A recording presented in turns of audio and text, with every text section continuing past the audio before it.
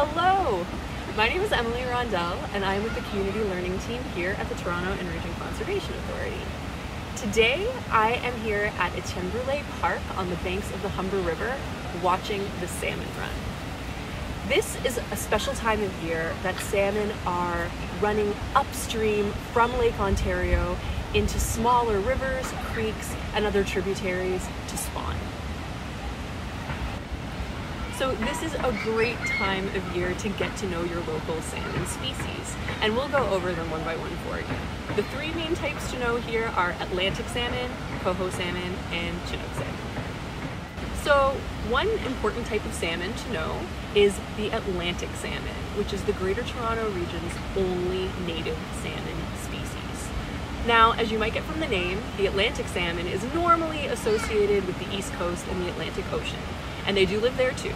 Atlantic salmon in the ocean live most of their lives at sea, and then when it's time to spawn, they run upstream to freshwater lakes and streams where they spawn Unlike some Pacific salmon species that we have here, Atlantic salmon can survive the spawning process and many return back to sea and repeat the spawning part of their life cycle in subsequent years a number of times. Some populations of Atlantic salmon never live in saltwater at all. They live their entire life cycles in fresh water, and these populations are known as landlocked Atlantic salmon populations. So historically, Lake Ontario had the world's largest population of landlocked freshwater salmon. And for thousands of years, Atlantic salmon fed people here and were a really important food source for both indigenous peoples and also for early European settlers alike. John McQuaig, who was the superintendent of fisheries for Upper Canada, remarked that during the spawning season, Atlantic salmon were so thick in the waters of the Toronto area that they could be scooped out either with a shovel or even with your hands. By the 1800s, catches of Atlantic salmon here in the waters around Lake Ontario were so extensive that the wife of the first Lieutenant Governor General of Canada, uh, Elizabeth Simcoe, noted in her diary that these Atlantic salmon were both caught and sold by the barrelful. Fishing pressures resulted in a decline in Atlantic salmon here in the Greater Toronto Area, and so did increasing pressures from urbanization. As Toronto grew, land was cleared away from our river valleys, and this resulted in erosion and also in water bodies, streams, and tributaries warming up. The warm and cloudy water did not provide ideal conditions for Atlantic salmon eggs. In addition, the need to power a growing urban population within Ontario meant that most of the tributaries leading into Lake Ontario were dammed, which made it very difficult for Atlantic salmon to reach their spawning grounds in many cases. From a result of all of these pressures, Atlantic salmon had disappeared from Lake Ontario and its surrounding waters by 1900. There have been sporadic efforts to reintroduce Atlantic salmon since around the 1940s, but the most recent efforts to do so have also been the most successful. In 2006, the Lake Ontario Atlantic Salmon Restoration Program was launched, and it's also known as Bring Back the Salmon. Bring Back the Salmon is a partnership between MNRF, the Ontario Federation of Anglers and Hunters, and a whole variety of other nonprofit and governmental groups as well. Duffins Creek, which is one of the tributaries within TRCA's jurisdiction, is one of the watersheds that's focused on for the Bring Back the Salmon program. If you do go out looking for salmon now during the salmon run and spawning season, you are unlikely to actually see a native species of salmon in the waters around Lake Ontario. The majority of salmon that we have in our salmon run are actually Pacific salmon species, and most of these salmon are either coho or chinook salmon. So, coho salmon are also known as silver salmon or occasionally silvers. They are not native to the Great Lakes, and their traditional range includes both sides of the northern Pacific Ocean, but occasionally as far south as northern California as well.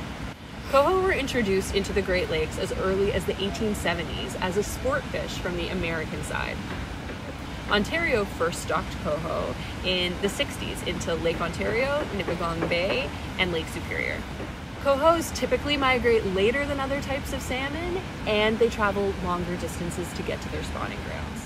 Like all Pacific salmon species, cohos only spawn once in their lifetime, usually at the age of around three years old.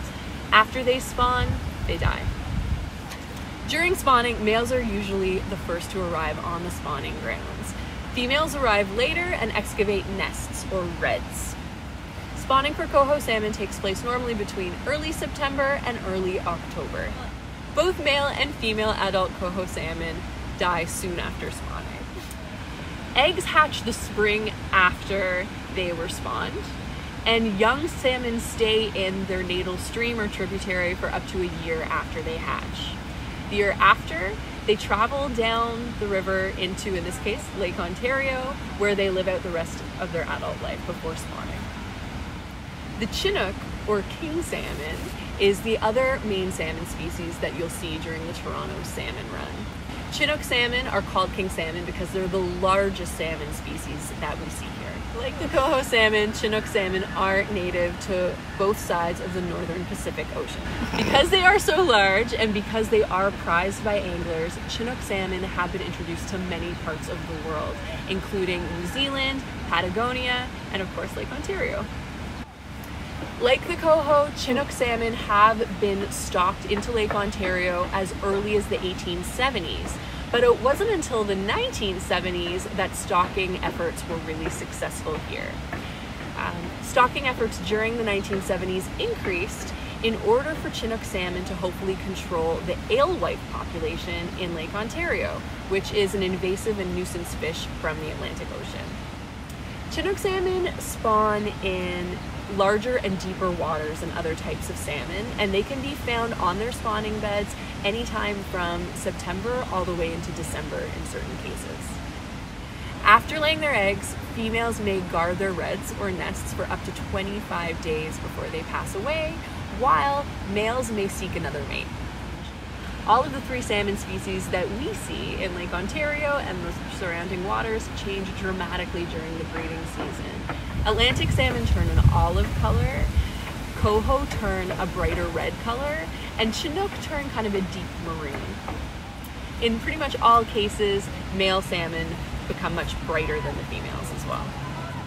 You can look out for migrating and spawning Atlantic, coho, and Chinook salmon in rivers, streams, and tributaries all throughout the Greater Toronto Area at this time of year.